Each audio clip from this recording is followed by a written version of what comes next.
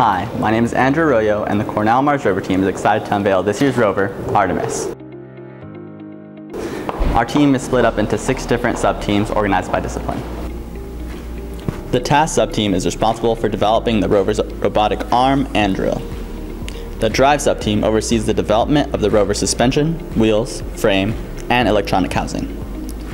The electrical sub-team is responsible for all electrical components, including the rover's communication systems and embedded firmware. The software sub-team operates rover controls and designs the autonomous systems. The science sub-team oversees Martian and MDRS research and develops the mechanism for onboard testing in the science task. And finally, the business sub-team is in charge of team finances, web and presentation designs, and both public and sponsor outreach. The academic year is divided into three phases. A development phase from August to November, a manufacturing phase from November to early February, and a testing phase from February to May. This year, we have worked hard to finish the rover early to maximize testing time and deliver a more reliable rover than ever before.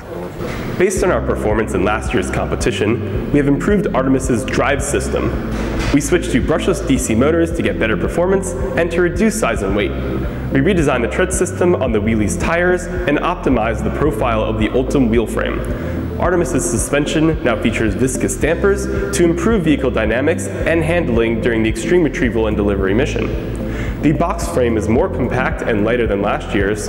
On the back sits a new carbon fiber composite mast to give us a better vantage point for the main drive camera and to give communication system a better line of sight, key for maintaining full bandwidth during ERDM. The rover has a belt-driven base which minimizes the joint's backlash.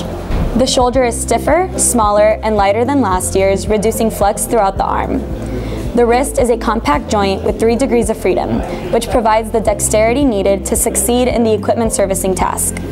The final joint on the wrist provides continuous rotation using a slip ring for power in conjunction with wireless links for control and camera feeds.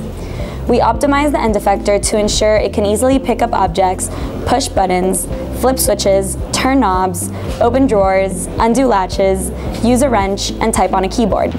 We have also made the end effector compatible with two screwdrivers, one hex and one Phillips, which are mounted to the frame so they can be picked up in the correct orientation. Our software system utilizes the robot operating system running on an NVIDIA Jetson TX2. It allows for teleoperation, configuration of camera feeds, as well as other operations to use throughout the different missions.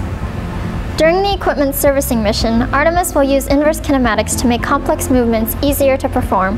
During the autonomous traversal mission, we use a GPS system, magnetic compass, and inertial measurements to navigate towards the given GPS coordinates while relying on the LiDAR to avoid obstacles. The rover uses computer vision to detect the tennis ball. The Jetson communicates with the base station via a 2.4 GHz transceiver and a 900 MHz transceiver with omnidirectional antennas. We aggregate the two transceiver links into one fault-tolerant channel that allows for communication even when line of sight is obstructed. Low-level control of motors and sensors is provided by PIC32 microcontrollers acting as a distributed network connected by a CAN bus. A central communication board provides the Jetson access to the network via a UART connection. The distributed network provides flexibility and redundancy by allowing boards to be added, removed, and replaced freely. The soil collection system has been redesigned to collect soil using an auger and transport it to the top of the rover using a conveyor belt. The conveyor belt feeds the soil into the automatic regolith testing system. The testing system contains 36 individual soil banks filled with water in a carousel-like arrangement, six boxes for each of the six sites. A cam drive system oscillates the carousel, allowing for flocculation of the soil and water. After flocculation, chemical reactants are released into the sample containers to react with nutrients and organic compounds. Qualitative color changes observed through a camera determine the presence or absence of traces of organic life. To analyze rocks, we designed a 3D printed wheel with five slots that limit the passing of light to certain visible light wavelength ranges. Artemis takes pictures of the rocks through these filters, which, based on the average reflectance values, allow us to determine the rock's mineral composition. With a focus on reliability, we have a rigorous testing plan.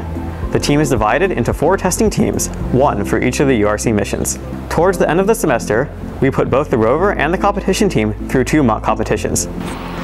Artemis and the rest of the team are just about ready for competition, and we hope to see you in Utah.